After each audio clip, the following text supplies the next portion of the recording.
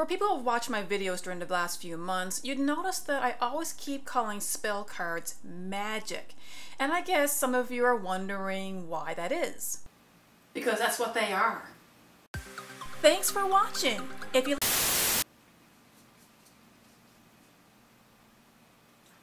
Oh, you want me to elaborate? Uh, okay, um, that seems fair. Um, intro.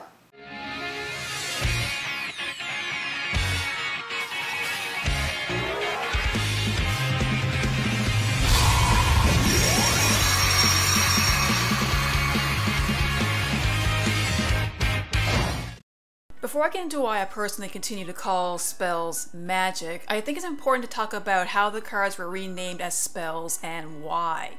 Overall, it was the result of actions taken between Upper Deck and Wizards of the Coast, but while researching for this video, there really wasn't a lot of information out there. So what I'm about to talk about is simply a result of my findings, so if you have any information or corrections about this dispute, uh, please let me know in the comments below. From the beginning of Yu-Gi-Oh!, the green cards were classified as magic. They were used as a form of support for your monsters or disruptor to your opponent. Unlike traps, these cards can be played from your hand during your turn.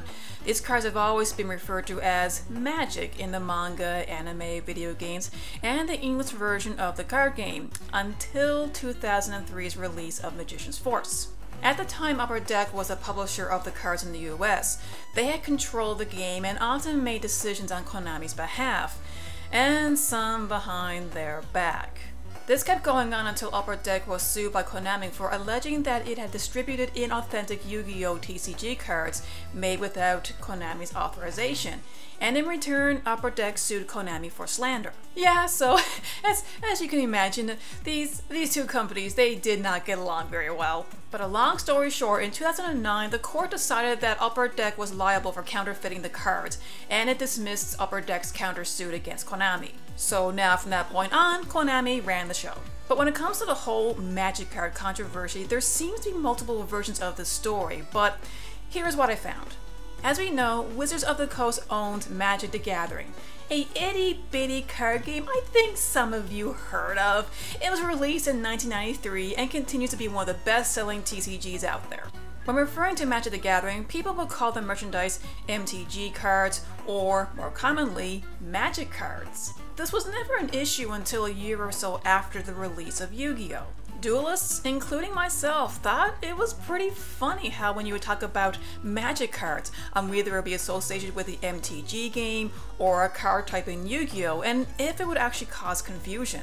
Well, what began as a simple joke inside the TCG communities, it turned into something much larger within the companies that publish the games. One version of the story states that Wizards of the Coast sued Upper Deck to have the term magic removed from the green Yu-Gi-Oh cards because the term magic card was too similar to the name Magic the Gathering and how their cards were described. But given that Magic the Gathering also uses similar terminology in Yu-Gi-Oh! and other card games, I personally found this reason for the change to be nonsense, and hence why I am a little skeptical about the story, but it seems to be the most common version of events, so eh, it may or may not be true. The second version of the story is more complicated.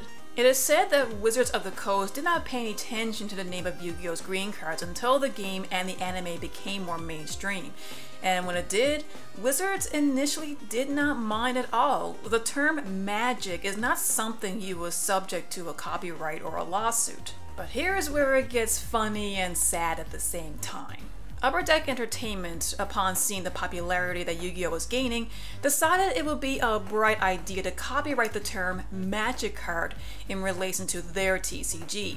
They did this on Konami's behalf, or so they say. I have not found anything about Konami knowingly going along with this.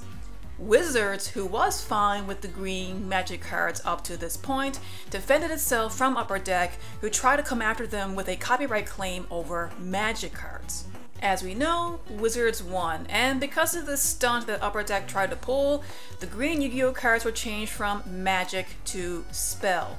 And the set magic rulers were even changed to spell rulers for its re-release. This, however, only applies to the TCG. In the OCG, green cards are still referred to as magic cards, and are still called that in the Japanese versions of the anime and video games. So knowing all of this, why do I continue to call these green cards magic? Well, mainly it was because the transition from magic to spells was still occurring at the time of my retirement, and most people who played the game from day one still called them magic because, well, it was mostly based on impulse. The term spell never really became the norm until new duelists began playing the game in 2004 and thereafter. And so when they looked at older cards that had magic on them, well, they just referred to it as a typo. But the old farts like me who left the game during the transition and came back in 2018, um, it just became a force of habit and I like the term magic more than spell. But to collectors, the term magic actually gives more value to these older cards, especially with the re-release of classic packs like Legend of Blue-Eye. So let's take Monster Reborn for example. The LOB re-release has spell written on it. But if you have the one that has magic written on it, congrats, you have the original version.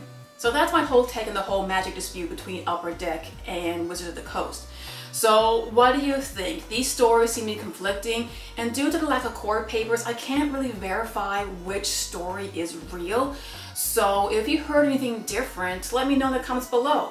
But regardless what is true and what's not, have fun with the game, and as always, to be a good sport, play the game, not the fame. See ya!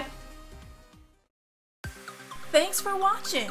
If you like what you see, subscribe and be sure to click on the bell for notifications. You can also check me out on Facebook. The link is in the description below. Happy dueling!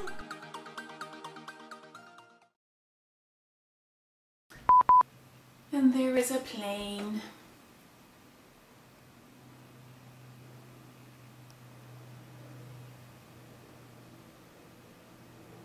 Let's let the plane go by first. Oh, this happens every time I film something. A plane just decides to swoop by.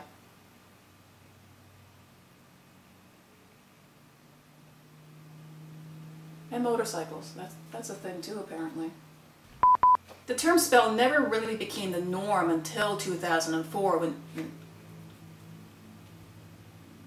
Holy moly, with all the traffic? Holy cripes. Jeez. I don't even live in the city. What's up?